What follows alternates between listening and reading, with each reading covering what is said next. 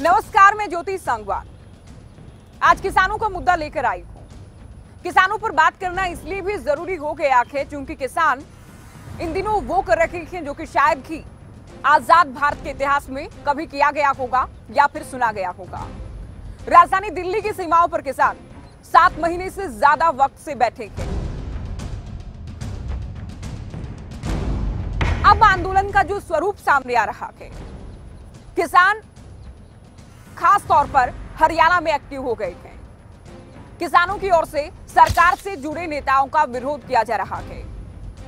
जहाँ भी सरकार से जुड़े नेताओं, जिसमें आप बीजेपी और जेजेपी की बात करते हैं, जहाँ भी नेता पहुँचते हैं, ज़्यादातर जगहों पर किसान भी पहले पहुँच जाते हैं। किसान काले झंडे दिखा रखे हैं।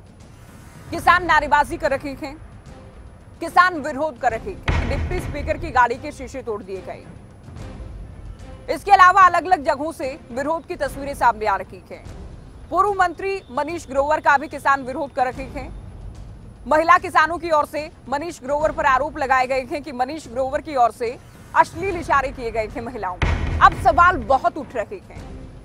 अब सवाल ये उठते हैं कि क्या किसान इस तरह से नेताओं का विरोध कर, जनप्रतिनिधियों का विरोध कर, सरकार पर दबाव डालने में कामयाब हो जाएँगे?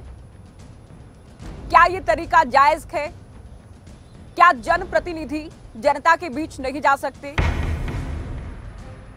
और क्या ये सभी किसान थे ये सवाल भी उठ रहा है क्या ये सभी किसान थे या फिर आंदोलन में कुछ असामाजिक तत्व भी शामिल हो गए थे कई बार व्यवस्था जब बिगड़ती है तो सवाल ये भी उठता है कि क्या किसान नेताओं के हाथ से आंदोलन निकल चुका है? सवाल सरकार से भी है। 26 जनवरी से पहले 11 से 12 दौर की वार्ता हुई। किसानों के डेलीगेशन को बुलाया जाता था। बातचीत की गई। लेकिन 26 जनवरी के बाद बातचीत का ये सिलसिला थम चुका है। हालाँकि कई बार कहा गया कि हम बातचीत के लिए तैयार हैं। पीएम की ओर से भी कहा गया कि एक फ़ोन कॉल की दूरी पर है किसान। लेकिन कब बातचीत होगी? कहा बातचीत होगी? कब किसानों को बातचीत के लिए आमंत्रित किया जाएगा? सवाल बहुत सारे हैं। आखिर क्या कारण है कि किसान आंदोलन का सरकार पर उतना दबाव नज़र नहीं आ रहा जितना कि 26 जनवरी से पहले आप कह सकते थे कि दिखा था? तो अब क्या कारण है कि सरकार का रवैया किसानों के लिए बदला है? कैसे और कब ये आंदोलन खत्म होगा?